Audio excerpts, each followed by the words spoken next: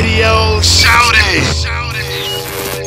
My question would be this though: trying to keep it partying and popping in the middle of an East Coast West Coast beef back That in the was- day, oh, though. yeah, that what was that like, though, Cheeks? I was crazy because uh, you know that East Coast West Coast beef was bananas, right?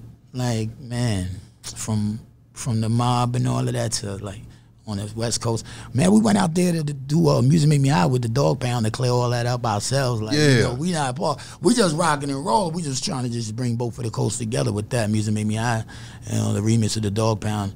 And that was crazy because we was out there during the beef. So My God. I don't know.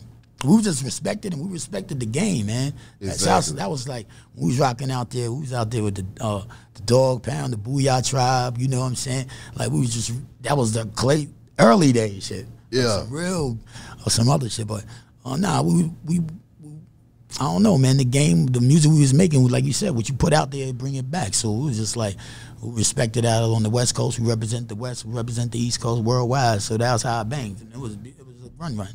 Being from the East, though, and seeing a young Biggie come into the game, too. And then when you looking at it now from the age you are now and realizing how young y'all was at Word. the time, what goes through your mind when you say, man, I remember this young brother coming into the game with hopes and dreams, achieving all of this success, and then having it all taken from him? That was crazy because I like I told the story. My story, I came up in the game with, you know what I'm saying, my man's uh, the package and Diddy and all of them. You know what I'm saying? I used to be on the couch with them early. Yeah. Like, you know what I'm saying, getting into the game, rocking with the people that brought me to Diddy Yeah. and Wolf, RP the Wolf and all that. You know what I'm saying? Yes, sir. All of them dudes. I was I was I was there early watching Biggie get it. When they first got the Irish to Dale and all that. I was in, you know, I was in the cut. But um yeah, man. When he passed, I was like, damn, because you know you're a good nigga, and, it, and the music that was happening, and what the, the situation, the music that was going on, and Pac and the beef, it was just that shit was so real. You, know, what I'm saying? so you fuck the what, nigga up. what's- what kills me though, like if you know, like for example, uh, if you know what's going on outside and you got the finances to protect yourself, you know, everything should be bulletproof. Oh, no question. When you step out here, if you are an artist on the level of a Baby or Gucci or any of those artists on the A list, um, there's no reason why you're not protected. You know, and every time you go out, it's not a game because they not playing out here. You know, Not Yeah. playing. so this, and then they, and so you gotta understand, the more money they have, the more money they can put on your on your head.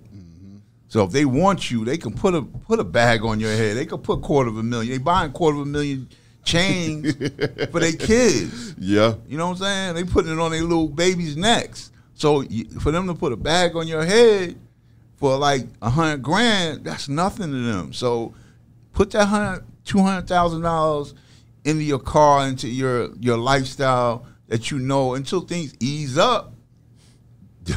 be protected. Yeah. You know what I'm saying? Don't move. You got to move in silence. You got to move.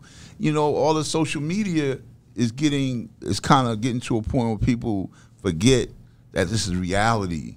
Hmm. You beefing on people on on on on, uh, on the internet, You come on, on your iGram, your IG, You know IG saying? live, and y'all going back and forth. Like I just seen uh, Soulja Boy and what's his name, Famous Dex, Yeah. going back and forth. You know, I mean, it's gonna eventually get to a point where they're gonna meet somewhere, Right. Yeah.